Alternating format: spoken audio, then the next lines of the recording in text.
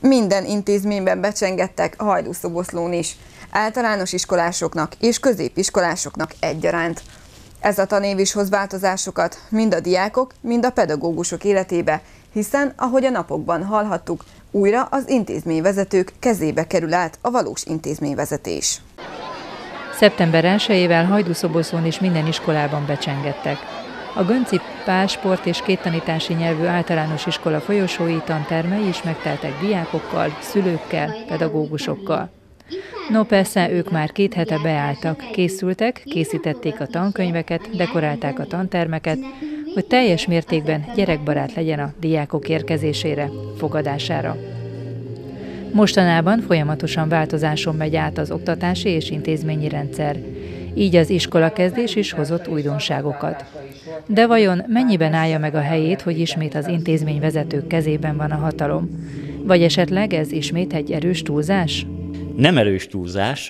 Én is augusztus 25-én tartottam a tantestületi nyitó értekezletet, ahol azt mondtam, hogy végighallgattam Pörskei Gáborni elnökasszony nyitó, tanévnyitó értekezletét még Budapesten, ahol ugyancsak ilyen pozitív jövőképet festett, hogy igen, vissza, visszakapják a intézményvezetők azok a, azokat a jogosultságokat, amelyek eddig is munkakörüket jellemezte. Én azt mondtam a tantestületnek, hogy még ezt nem érzem, de ez annak köszönhető, hogy még nincs szeptember 1 -e. Így van, szeptember 1-től az igazgatók a munkáltató jogkörüknek majdnem 90%-át visszakapják. Megmarad az állami irányításnál, tehát a kliknél, tankerületi igazgatóságnál, vagy a tankerületi igazgató jogkörébe a kinevezések, az elbocsátások vagy nyugdíjaztatások, illetve a bér. Tehát ez a három még, még nem került vissza. De én úgy gondolom érdekes, hogy fogalmaz, talán a három legfontosabb nem került vissza. Hogyan fogadták a pedagógusok a kollégái? Hmm, megnyugodtak, egy kis megnyugvást hozott ez végül is a tantestület számára. Végül is mégiscsak jobban itt lehet intézkedni, krétát venni, tehát nem kell a klikhez szaladgálni érte. Hát még azt nem tudom, hogy kell szaladgálni. Az, hogy a tantestületek ezt hogyan fogadták, én úgy gondolom, függ az igazgató személyétől. Ha tényleg ezt hallották a kollégák, hogy a munkáltató jogkörök jó nagy százaléka visszakerül a intézményvezetők kezébe, akkor én úgy gondolom, hogy a mi intézményünkben talán a talán bizony benne, hogy a nevelő testület ezt pozitívan fogadta, és, és elkönyveli, hogy na, végre talán igen, az igazgató tényleg, ténylegesen tudja irányítani, és van a kezében olyan anyagi és egyéb bázis, amivel egy intézményt lehet koordinálni. Az, hogy kell szaladgálni majd Krétáért, ez szeptember 1-től majd eldől.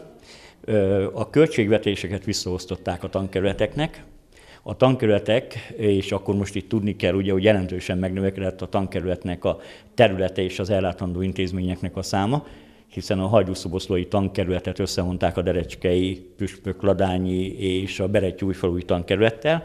Ez azt jelenti, hogy kb. 100, közel 120 intézmény került a Püspök Ladányi tankerület igazgatóasszony hatáskörébe, és akkor tulajdonképpen itt, ha visszaosztották a, a költségvetést területenként, tankerületenként, akkor még plusz ez a költségvetés, még a tanulói létszám vagy az igények alapján még plusz intézményeként oszt, leosztják.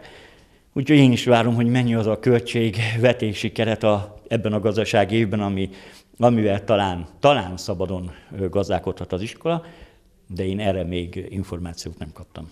A becsengetés sok kis elsős életében is nagy változást hoz, de az intézmény ezen a területen is készen áll. Az intézmény vezető helyettes asszony nyitó ünnepi beszédében erre is kitért, hiszen most már elsőtől negyedik osztályig kapják ingyen a tankönyveket a diákok. Bizon benne, hogy ugyanúgy kíváncsisággal és, és tettel tele várták a kollégáim ezt a tanévet is, mint ahogy a gyerekek is. Tehát mi ebben érdekes módon egyek vagyunk a gyerekekkel. Sajnáljuk, hogy vége a nyárnak, sajnáljuk, hogy vége a szabadságnak, de állítom, hogy mindegyikünkben ott volt, hogy kezdődik a tanév, vajon milyen lesz, hogyan lesz, és kellő izgalommal. A Gönciben? Hát igen, a Gönciben talán még nagyobb kihívás. Kétszer 33 fős első osztály indul. Nagyon örülünk. Tehát valamikori volt igazgató kollégám, amikor megkérdezte, amikor én ide kerültem igazgatónak, hogy na mesélj egy kicsit, hogy, hogy három év után mesélj egy kicsit a Gönciről, mit sikerült. És belekezdtem itt, na így, úgy, és azt mondta, hogy Tibi, állj, arról mesélj, hány elsős iratkozott be a Göncibe? Azt mondja, az nekem meghatározó. És akkor itt büszkén mondom, hogy 66 elsősünk van, tanítónénik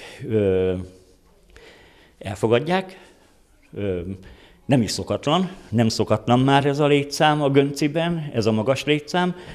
Én úgy gondolom, hogy kellően megbirkózunk. Ha a szülők nem lennének elégedettek, és itt bizonyítja meg, itt, itt bizonyítja, hogy milyen az intézménynek az oktatási nevelési színvonal, mert azonnal megmutatja a csökkenő gyereklétszám, hogyha a szülői közösség kifogásokat talál az intézmény működésében. Én most úgy érzem, hogy ez jó színvonalon van. Tradicionálisan sok szülő választja a göncét, így a gyereklétszám évről évre tartja magát. A tanévnyitón arról is tájékoztatást kaphattak a szülők, milyen felújítások valósulhattak meg. De sajnos az iskolai játszótérre szükséges speciális gumiszőnyegre nem volt elegendő az anyagi keret.